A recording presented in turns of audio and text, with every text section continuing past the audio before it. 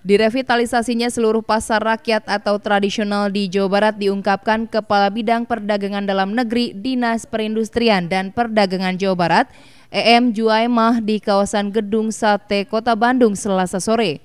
Menurut EM, tahun ini ada tujuh pasar yang direvitalisasi.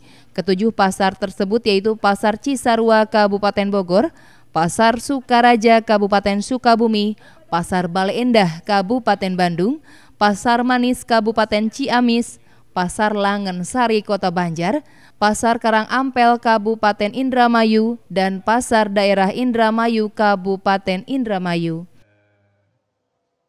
Revitalisasi tersebut memakan APBD sebesar 75 miliar rupiah. Awalnya pihaknya akan merevitalisasi 11 pasar tahun ini, namun empat pasar yaitu Simpang Dago dan Cijerah Kota Bandung Kuewaru Kabupaten Cirebon dan Manon Jaya Kabupaten Tasikmalaya tidak jadi direvitalisasi karena berbagai alasan di antaranya sudah diurus PD Pasar ataupun akan diluncurkan pada tahun 2020. Menurut EM, revitalisasi dilakukan agar pasar menjadi bersih dan higienis sehingga masyarakat betah berbelanja di pasar tradisional. Revitalisasi dilakukan dengan target pada tahun 2023 seluruh pasar tradisional di Jawa Barat berlisensi SNI.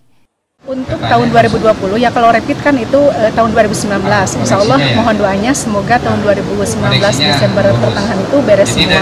dan untuk tahun 2020 kita itu ingin eh, seluruh pasar sampai dengan 2023 itu ber-SNI 8152 2015 jadi pasar yang bersih, pasar yang higienis, pasar yang sudah bisa dikunjungi oleh masyarakat. Tahun 2020 pihaknya pun akan merevitalisasi 10 pasar tradisional dengan arsitektur yang diperbaharui di antaranya dengan model atap jula ngapak. Budi Hartati, Bandung TV.